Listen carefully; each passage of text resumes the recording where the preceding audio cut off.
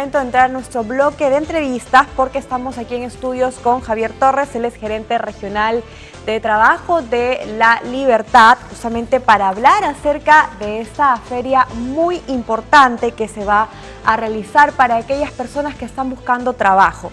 Chambita te busca. ¿Cómo estás? Bienvenidas al TV Noticias. Muchas gracias, muchas gracias a todos. Un fuerte abrazo y estar acá presente. Cuéntanos un poquito acerca de esta feria que se va a realizar. Es una excelente oportunidad de repente para esas personas que están buscando elaborar. Sí, efectivamente, la Gerencia Regional de Trabajo, eh, justamente en uno de sus servicios y en una de sus funciones es promoción del empleo. Estamos en coordinación, hemos coordinado con 70 empresas del, de la provincia, las cuales nos van a dar, unos, este, nos están ofertando un promedio de 3.000 puestos de trabajo entre profesionales y no profesionales eh, para poder insertar en el mundo laboral una vez a nuestros jóvenes y adultos. Ok, me imagino que pues estos puestos de trabajo, ¿no? Eh, es para todo tipo, recién egresados. Es para jóvenes, adultos, egresados y no profesionales también. ¿En qué sectores estamos, eh, esta feria se está dando puestos de trabajo? En el sector agroindustrial, en servicios, en lo que es el sistema financiero, en el sector de educación, turismo, gastronomía, salud, construcción, y algunos tipos de profesionales no profesionales, también practicantes profesionales. También, practicantes también, pueden para encontrar que, Para que vean nuestros jóvenes y para nuestros adultos. Ok, perfecto. Es una excelente oportunidad definitivamente porque aquí en La Libertad hay muchas personas que están en busca de trabajo, ¿no? Y a veces no saben pues eh, dónde eh, buscar esas oportunidades. Así es.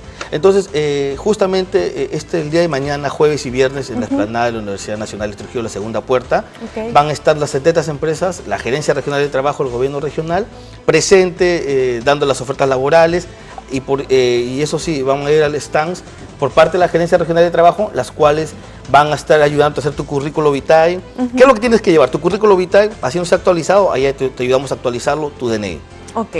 Va a haber una parte donde, pues, mucha atención con esto, ¿no? De repente, aquellos que no tienen experiencia, nunca han elaborado un CV, van a poder ser ah, instruidos. La Gerencia Regional de Trabajo va a ir un equipo de la gerencia, la cual te va a ayudar a elaborar tu currículo en ese momento y darte algunas pautas, ¿no? Antes de presentar tu currículo, a los segundos están donde están las empresas ofertando las puestos de trabajo.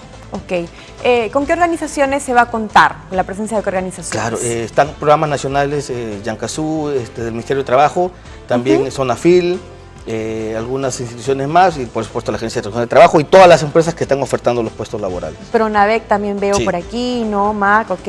Muy importante definitivamente, ¿no? Eh, que se promueva este tipo de oportunidades. Así es. Eh, como, primero agradecerte a tu medio, agradecer a todos los medios que están dando cobertura porque es una de las funciones, ¿no? Hay muchas personas, hay muchos liberteños desempleados, muchos trujillanos desempleados y queremos aportar como Gerencia Regional de Trabajo, como gobierno regional y también decirte que el día de mañana está llegando el Ministro de Trabajo.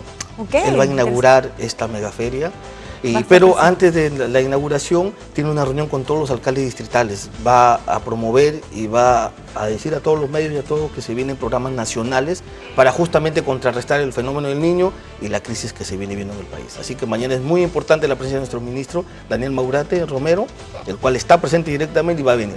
Ok, ¿esto se va a realizar a qué hora? En, en, la mañana un desayuno que tiene con alcaldes distritales de la región, en casa de gobierno, el gobierno regional, y después va a la megaferia a la inauguración. Y después va a estar en la megaferia de inauguración. ¿A qué hora va a ser la inauguración? Nueve y media, diez de la mañana, pero igual, desde las ocho y media tienen que estar porque va a haber colas, por favor que vaya. Entonces yo pediría y, nuevamente agradecerte realmente, ¿no? Es un servicio que damos de manera gratuita, es un servicio que lo hacemos por el bien de la población.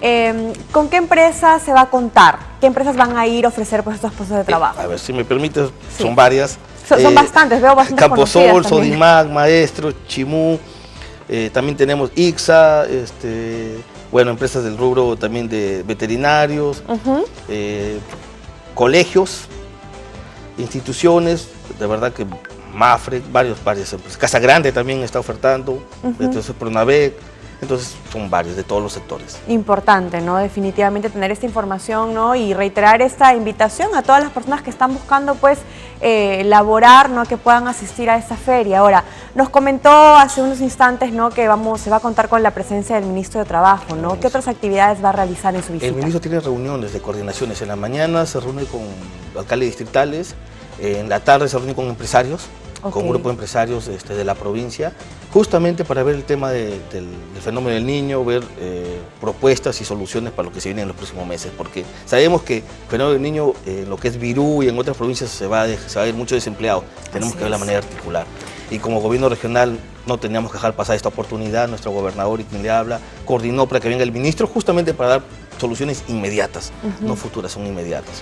¿Y, tiene conocimiento si de repente el ministro de Trabajo ya viene con propuestas? Claro, viene con dos programas. Un programa nacional a ofertar puestos, pero no puedo adelantarme. Eh, claro.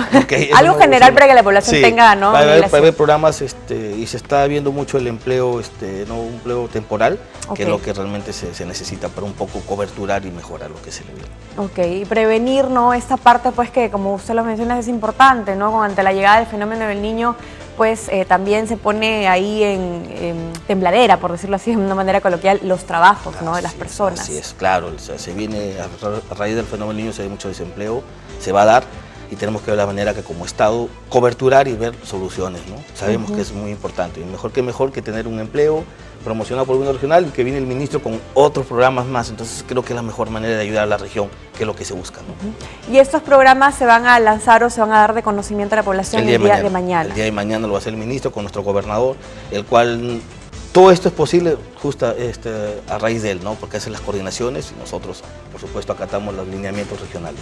Ok, gerente. Ya para ir finalizando... Em, ¿Cuál sería la invitación de repente para todas las personas ¿no? que están buscando laborar? Invitar a todos los vecinos, a todos los trujillanos, invitar y decirles que vayan, este, los que sean profesionales y no profesionales técnicos, porque va a haber para todos puestos de trabajo. Más de 3.000 vacantes. Entonces, eh, que vayan todos con su currículo. No está actualizado, no importa, ahí te ayudamos a, mejorarlo con tu DNI. Y te comento antes que se me vaya, eh, ahí también pueden emitir su, eh, su certificado único de trabajo o se le llama certiadulto o certijoven, en cual que contiene. Contiene los antecedentes penales judiciales y tu trayectoria laboral. Nosotros te ayudamos, porque es un, es un, trámite gratuito, y eso quiero que sepa. Todo trámite de la Agencia Regional de Trabajo es gratuito.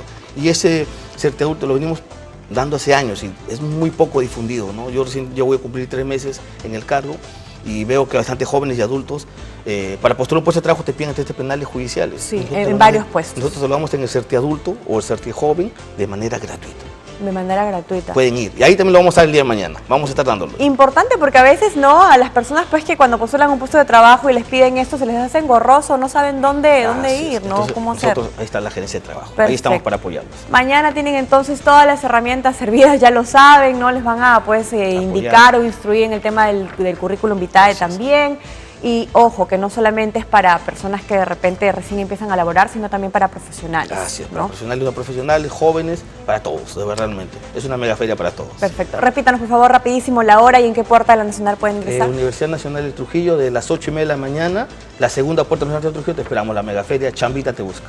Perfecto, ya lo saben amigos, la invitación está hecha, si es que están buscando pues una oportunidad para laborar, aquí tienen ¿no? la mesa servida, por decirlo así. Muchísimas gracias, gerente, por estar el día Muchas gracias. Muchas gracias. Perfecto. Palabras de Javier Torres, él es gerente regional de trabajo de la Libertad, para pues eh, darnos a conocernos acerca de esta feria Chambita Te Busca que se va a realizar el día de mañana. Más de 3.000 vacantes, amigos, una excelente oportunidad para todos los que buscan laborar. Continuamos con más información. Les contamos que un turista británico perdió la vida tras el despiste del bus que lo transportaba a la montaña de siete colores en Cusco.